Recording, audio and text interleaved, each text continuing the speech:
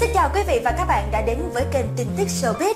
Chúc quý vị và các bạn sẽ có những phút giây thư giãn thật vui vẻ cùng với chúng tôi. Và đừng quên nhấn vào nút đăng ký bên dưới và chuông thông báo để được xem những tin tức mới nhất mỗi ngày nhé. Và bây giờ, xin mời quý khán giả sẽ cùng đến với những tin tức nổi bật nhất trong ngày.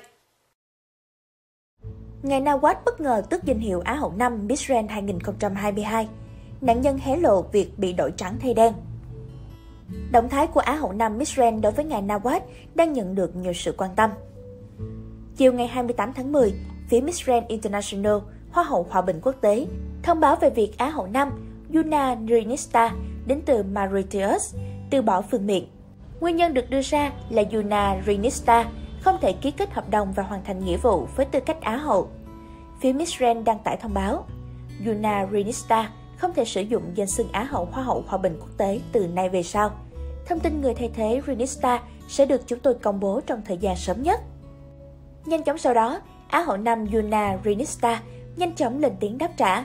Cô cho biết bản thân bị ép ký hợp đồng với nội dung là không hoàn thành nhiệm vụ.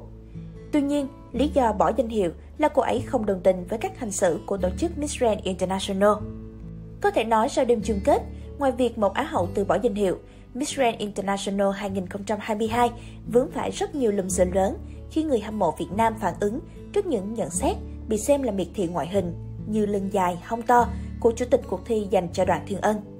Hay chuyện ông Nawaz trực tiếp khiêu chiến Miss Universe khi để dòng chữ MU trên quả địa cầu bị chữ MGI đánh bật.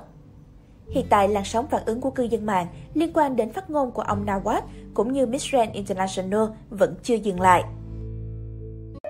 Xin chân thành cảm ơn quý vị và các bạn đã quan tâm và theo dõi video. Hãy nhấn vào nút đăng ký bên dưới để được theo dõi những video mới nhất được cập nhật mỗi ngày quý vị nhé.